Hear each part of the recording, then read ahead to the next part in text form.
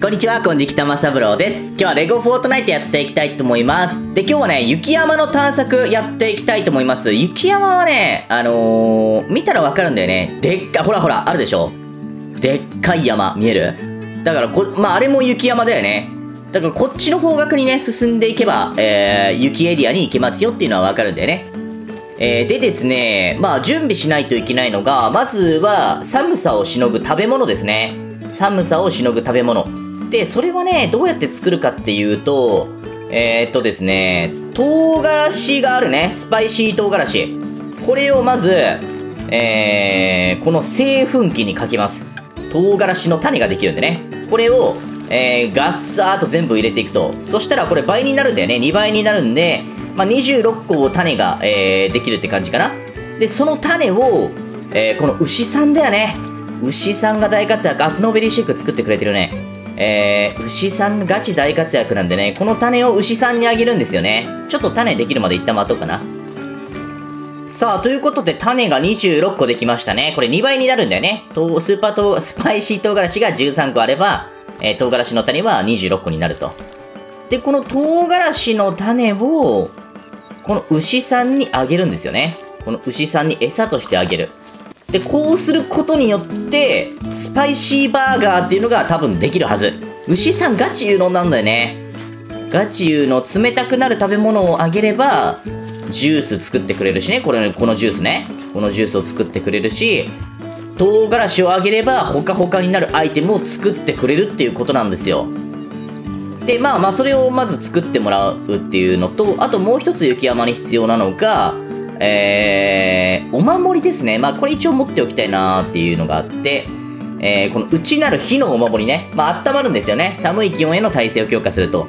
これをね、えー、砂漠同様ね、2つ。えー、前回多分冷静さのお守りを2つ作ったんですけど、あ、これじゃないか。もう1個レベル低いやつだね。えー、今度はこっちのやつを2個作りたいと思います。で、これに必要なのが、まあ、ケイトはね、大丈夫。あの、羊さんからもらえるやつね。で、ブライトコは前回砂漠の洞窟で拾った、で、カットしたルビーっていうのが必要なんだよね。で、ルビーは前回ね、どっか拾ってきたやつを多分どっかに入れてるんですけど、どこかな？えー、あ、ルビー。6個しかないね。で、このルビーは原石なんですよ。原石。この状態ね、なんか岩とかが混ざってる状態。これをカットしたルビーにするためには、えー、このね、宝石裁断機っていうのが必要なんですよね。宝石、えー、切断機か。なので、これを作っていきたいと思います。あ、バーガーできてる。これね、スパイシーバーガー。これが、まあ、10分間、えー、温まりますよーっていうやつなんですよね。これを作ってくれるガチで牛さんは優秀です。もうほんとおすすめだね。牛さんね、仲間にするの。えー、超おすすめです。オッケー、じゃあ、これを立てようか。うまいこと、あ、いけるね。いい感じに、じゃあ、ここに立てて、えー、これが宝石裁断機ですよね。えー、これでカットしたルビーを制作することができるんだよね。で、2個お守りを作るから、カットしたルビーが10いるんだよね。でも今、あの、ルビー5しか持ってないんで、一旦ちょっと洞窟、探索して砂漠の洞窟ね。ちょっとそれを集めたいなと思います。で、前回ね、その洞窟でこの銅っていうのをゲットしたよね、銅。で、なんかに使える？えー、なんかアイテム？アイテムというか、あの、武器とかに使うのは大体この銅のインゴットなんだよね。で、これをどうやる、どうやって銅に、銅のインゴットにするかっていうと、えー、この金属精錬機っていうのが必要なんですよね。えー、金属精錬機っていうやつ。で、これに、ね、銅の原石と、あとブライトコアをぶち込めば、銅のインゴットができますよ、みたいな感じなんですよね。ただ、銅のインゴットは結構ね、なんか、あの、資材破壊すると結構もらえることが多くて、えー、銅のインゴット今もう60ぐらい持ってるんだよね。なので、えー、まあ一旦これはちょっと立て、立てないというか、一旦ちょっと置いとくわ。あの、結構資材ががっつり必要だからね、黒曜石の板とかブライトコアとかね。なので、一旦置いときますが、まあもし必要になったら作ろうかなと思います。やっとルビー見つけた。でも、ちょっとやばい、マジで。あの、帰れないかもしんない。どこに自分がいるかわかんない。結構探索したんだよ。何分ぐらいだろうあでもこれだけか。待ってインベントリいっぱいだしなんか物も投げられてるし。えー、まずい状況でとりあえずこれ飲んじゃうか。これ飲んじゃって何かわかんないけど。これ何？あなんか回復効果が得られるんだ。でちょ一旦降りるかじゃあ。落ちちゃったからねルビーが。これがルビーかな？よいしょ。敵がねめっちゃ多いんだよ。敵がめっちゃ多いんだけど剣がもうないんだよ僕。剣がもうなくてむっちゃ追いかけてるむっちゃ追いかけてくる。よいしょ。オッケーオッケーオッケーオッケーむちゃくちゃ追いかけてくるね。これ取れない。ゲットできないか。ダメか。敵がねほらサクサクずっと聞こえてるでしょ。あのサクサク音は全部敵なんですよ。ちょこれ取れない。なんとか取れないですか。いやめっちゃ追いかけてくるでしょあの敵。めちゃくちゃしつこい。し信じられないぐらいしつこい。そんなとこまで追ってくんの？あの子。あやべやべやべ ちょ危ねえ。死ぬ死ぬ死ぬ死ぬ。ガチで死ぬ。えー、さあこれでまあちょっと集めつつルビー10個にはなったかな？とりあえず10あればもう一旦いいんだよな。一旦帰っていいんだよな。えー、2だ。えー、多分6あったからあと2必要なんですよね。ただ意外とこう探そうと思うとない。探そうと思うとないんだよなこういうのって。大体そうだよねこういうのってね。探そうと思うとないもんなんですよ。よいしょ。さあ宝箱の中とかにも全然ある可能性もあるんで宝箱とかも開けたりしてるんだけどね結構もうがっつし探索してるんですけどなんせもうあの敵がねちょっとどうにもできないっていう状況がかなり苦しいんだよね。剣をね作ってなかったんだよ。確かなあの銅の剣ができるなと思ってもおおびっくりした。あのピーリーが焼けちゃったね。焼きバナナになっちゃった。あの銅の剣がね作れるんですよ。銅のインゴットだけでね。なのでまだ追いかけてきてるなあの子たち。それをね作っちゃおっかなみたいなことを考えていたらまあ時間過ぎてましたよみたいなことだね。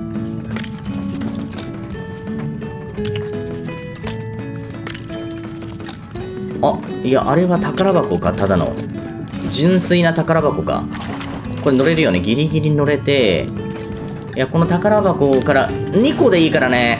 2個なんであとルビー。それさえゲットできれば別にもう用はないんですけどあスノーベリーの種は嬉しいね普通にね。うんスノーベリーの種今枯渇してるんだよね。それで言うとでも捨てられそうなもんがまあ花崗岩か。花崗岩は別に捨てていいもんね。松明取って、えー、あとここになんか枠あるな。空いてるな。じゃあ、えー、ここにはダダイナマイトでも入れとく？ダイナマイト入れといて、で、サンドクローは欲しいでしょ？で、破壊して、いやー、ということで、えー、帰ってきました。めっちゃもう30分ぐらいやったのかなめっちゃ迷子になった。めちゃくちゃ迷子になって黙々とね、やってました。でね、ルビーが全然見つからなかったんだよね。で、それもね、あれなんだよな。剣がもうなくて、てと、あと、砂漠のね、敵が普通に強くて、えー、まともにね、戦って2体ぐらいに囲まれるともう倒せないっていうので、ちょっとね、探索がちゃんとできなかったんだよね。なので、ちょっと一旦ね、状況を整えたいと思います。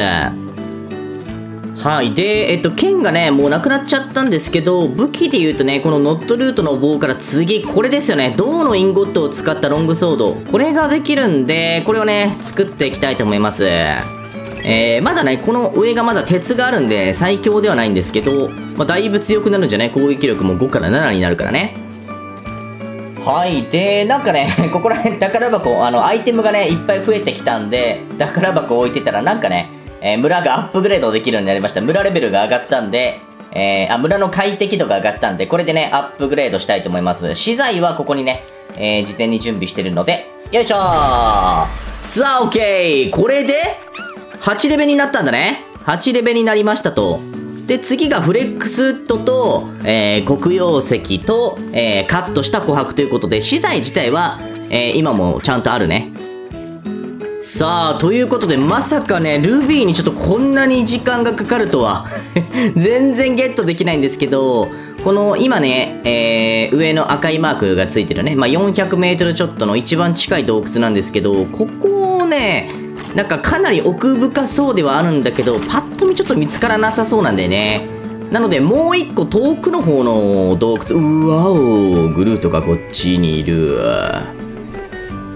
こっそりね。これ、こうやってこっそり行くことできるんで。こっそりモードで。こっそりブラザーズで、えー、なんとかいなしていきたい。今じゃないからね、絶対ね。まあ、必要になったら戦うけどね。えー、で、そうそう、あのー、もう一個遠い方のね、洞窟をちょっと見てみるわ。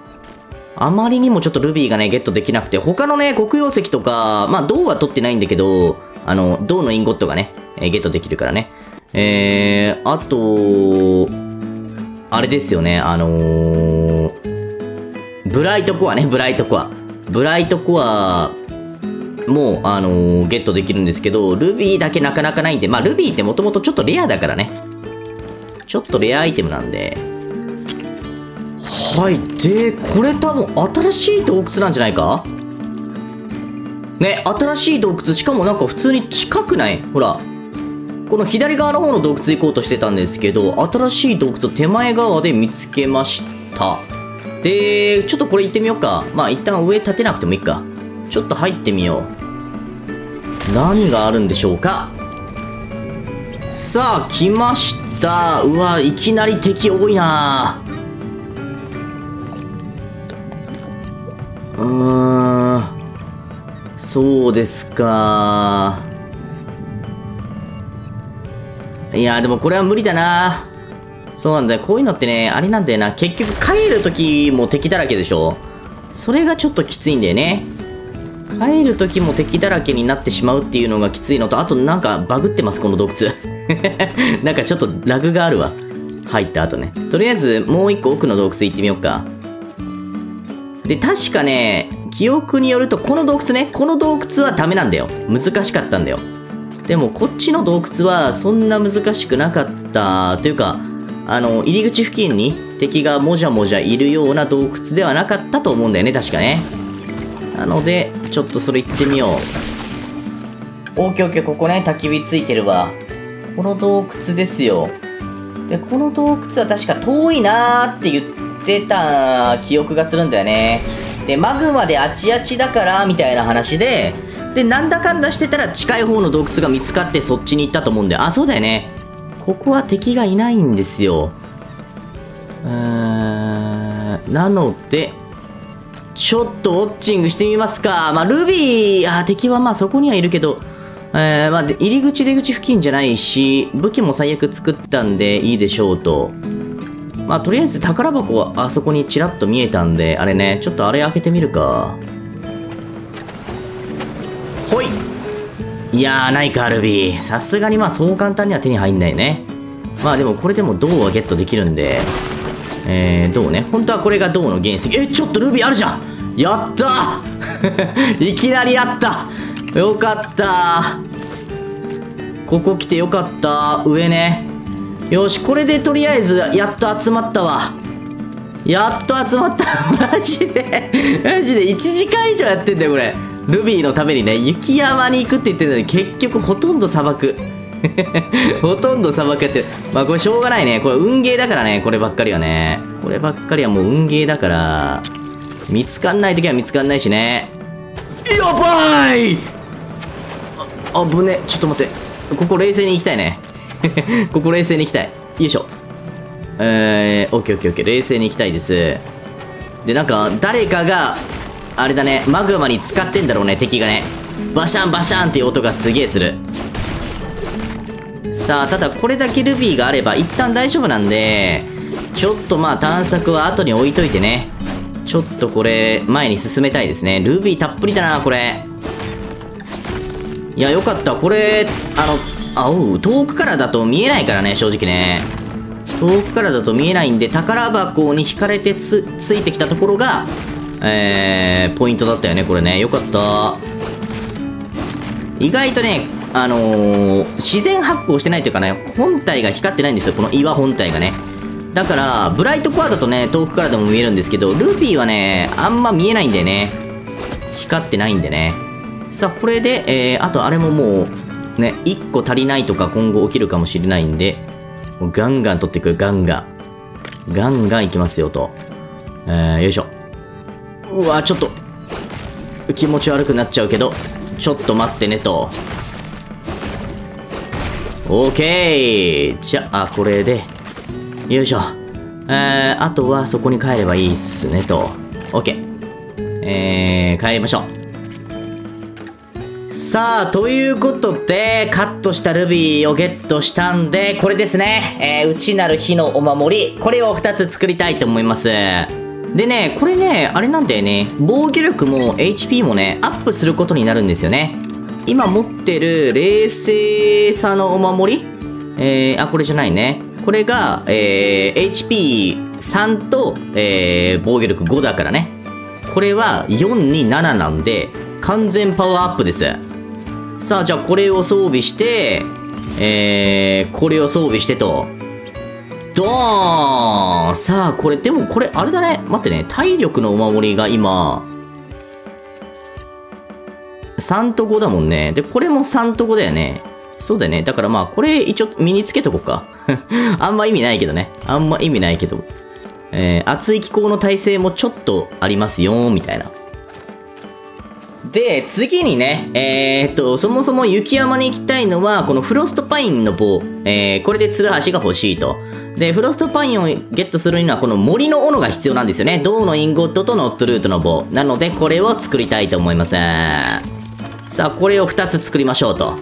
さあ、この森の斧で、えー、フロストパインをね、ぶっ倒すことができるという感じだね。で、一応、斧の中では、えー、これが、まあ、最強斧ですね。最強斧になってます。かっこいいでしょ音もすごいでしょ音もね。音もビューンって音がすごいんですよ。さあ、でですね、ちょっと待ってね、この牛さんに話しかけたいんだけど、その牛さんがね、ハンバーガーいっぱい作ってくれた、このスパイシーバーガーを持って、これでまあ、体勢はもう完璧でしょう。どれだけ寒くても、えー、最悪バーガー食べればなんとかなるっていう感じなんで、えー、ついにね、フロストパインをなぎ倒しに行きたいと思います。で、今回はあの雪山めがけてね、えー、歩いていきますので、まあ一旦近くになるまではカットしようかな。さあ、ということでちょっとね、クマさんが大暴れしてる声が怖いんだけど、えー、たどり着きましたね、雪山にね。で、フロストパインっていうのは、えー、っとね、うわー、ちょっとタイミング悪い。タイミング悪いな、こいつガチで。え、ーオッケーオッケーオッケー。これですよここギリギリ雪山ほらちょっと雪山なんだよねでこの木このなんかクリスマスツリーみたいな木これがフロストパイン硬いでしょ？最強の斧でもこれよ。この細さでね。えちなみに普通の木ある？まあこれが普通の木だよね。これフロストパインゲットして。普通の木で比べてみたら全然違うよ。ほらこれもう一発で壊れるんで。こんなこの細さだったらね。ワンパンなんですよ。本来であればだからかなり強い、えー、斧のはずなんですけど、えー、これはまあそれを超えてくる硬さだという感じだね。なので、まあこれをサクッと集めよっか。まだね、雪山にまあがっつり侵入しなくてもいいと思うんですよ。